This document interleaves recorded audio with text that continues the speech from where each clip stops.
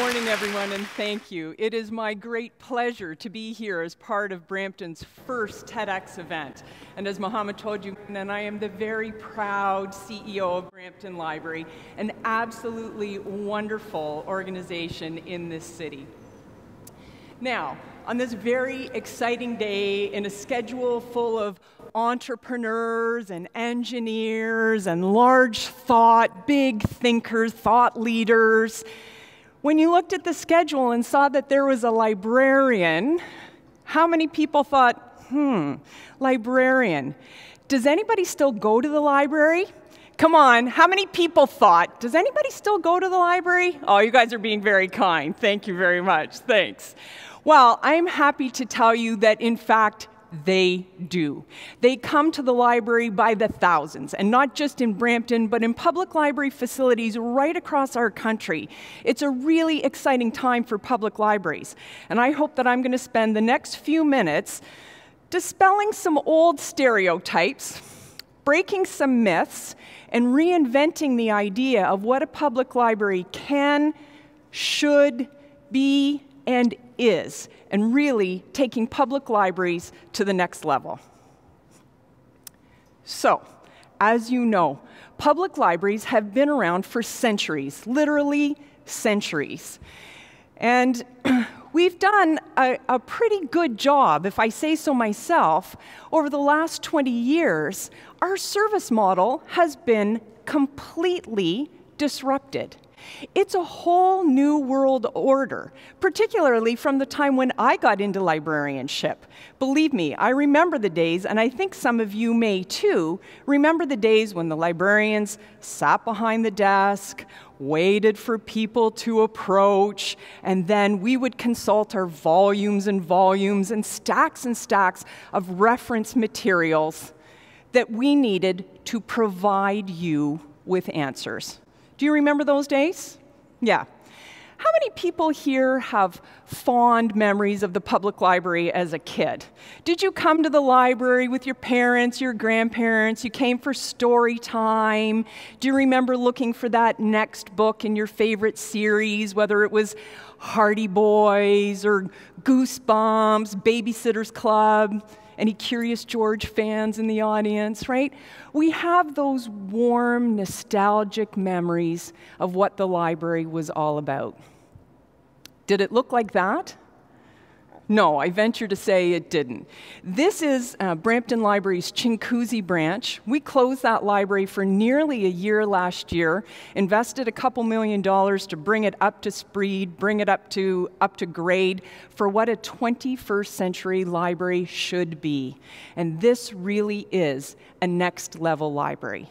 Back in the day when we were sitting behind the desk waiting for you to come so we could dole out the information, because after all, that's where you went to get information.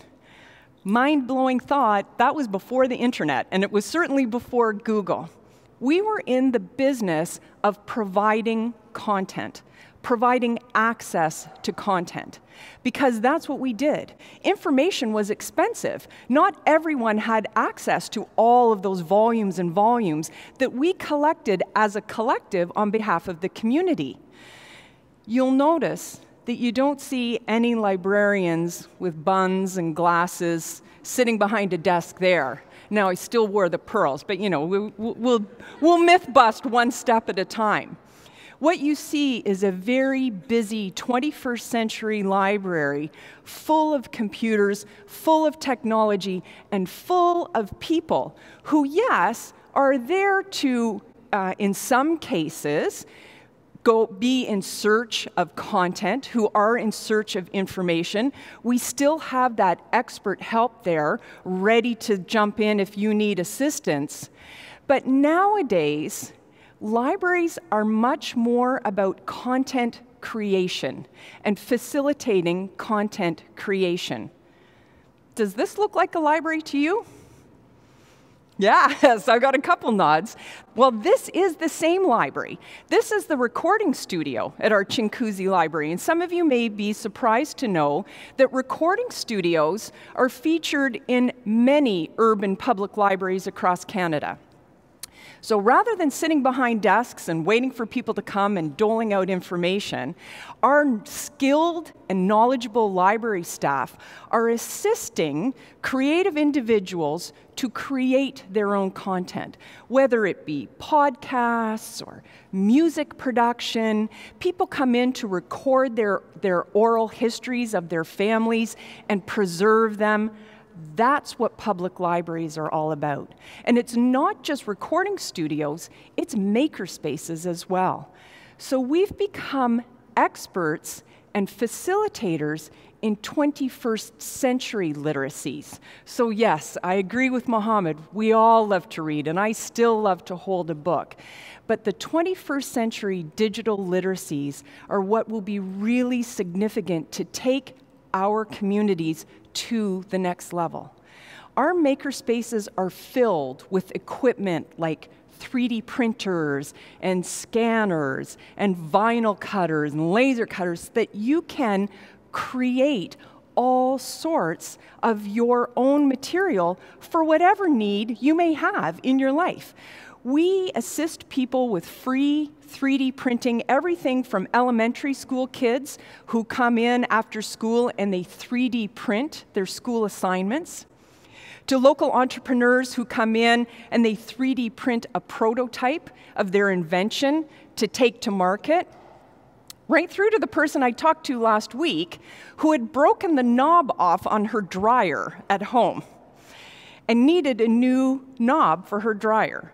So, not only were our knowledgeable staff able to find the online file for the production of that particular piece, they then helped her 3D print it out of plastic, and home she went to put that knob on her dryer and turn it on. So not only did she save about $150 in a service call and cost, but what an incredible story and what an incredible new vision of what a public library is and can be.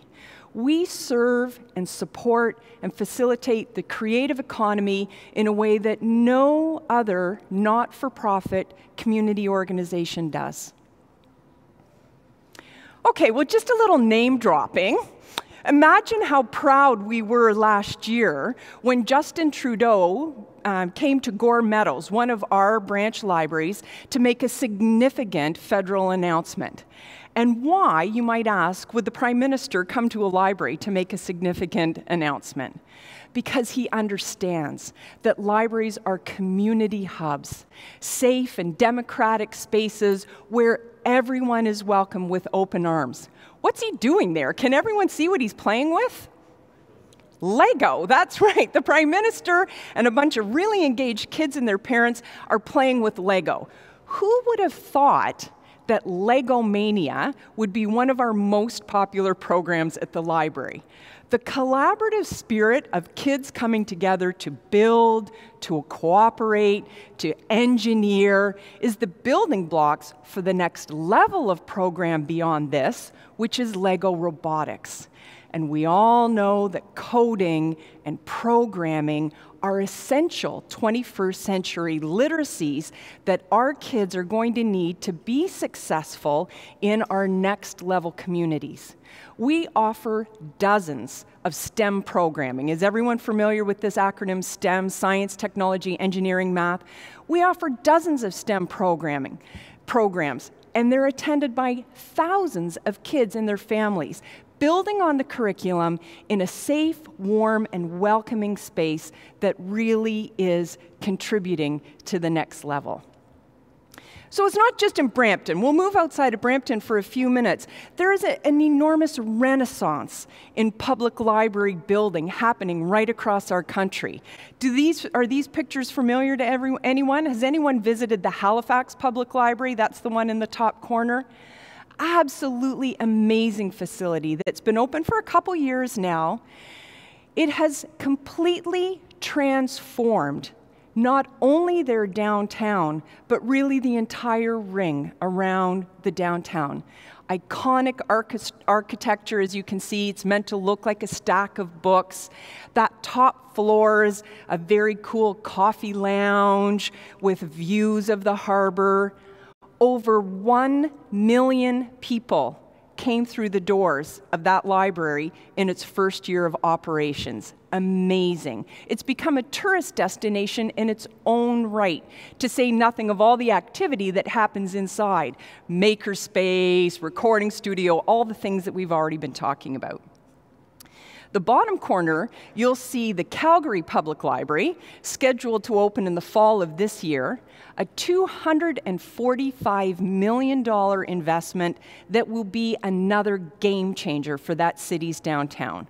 Completely transformative. You can see in this architect's model, there's an LRT stop right inside the building. The trains will come in, deposit people, pick them up right inside the building.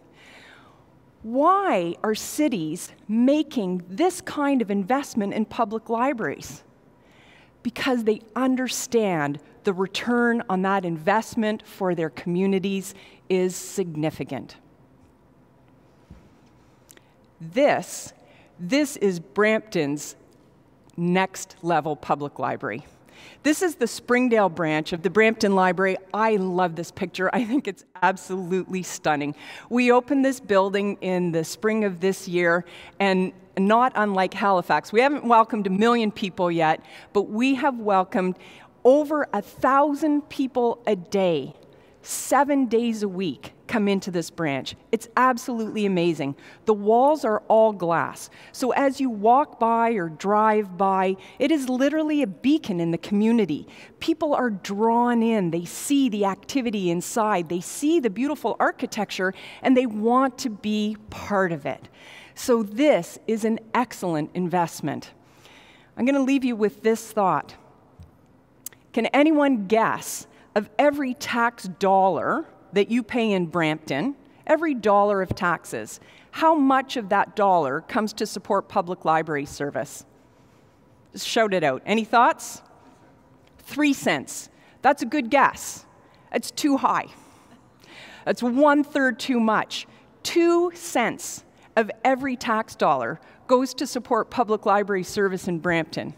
And when you look at this facility, when you think about the amazing um, equipment that's available and our friendly and knowledgeable staff, I think you'll agree it's a very good investment of taxpayer money. I'm delighted. Thank you very much. I hope I've used this opportunity to dispel some myths and help you to understand what next level libraries are all about. Thank you.